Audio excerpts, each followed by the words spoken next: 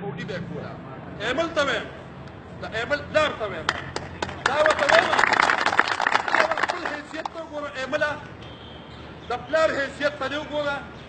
او چې په 2013 کې الیکشن کېدو نو ایمل ته چې دی په ټیکسي کې به ګرځېدی او قریب هم د یو بل جمع کوله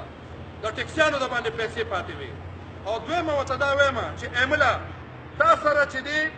د خالد بختیار، عمر بختیار د عمرزو پنځه سوه جربه جایداد په اجاره چې دی اوسه پورې وو اوس یې د نه واغېشت اوسه بله ورځ یې د نه واغېشت ستا حیثیت نه د ملیشیا د تلو ستا حیثیت نه د دوبۍ نه د دوبۍ نه دغو چې دوبۍ کې دې ته بنګلې او دغه والې او نه ملیشیا کې هوټل او دغه والې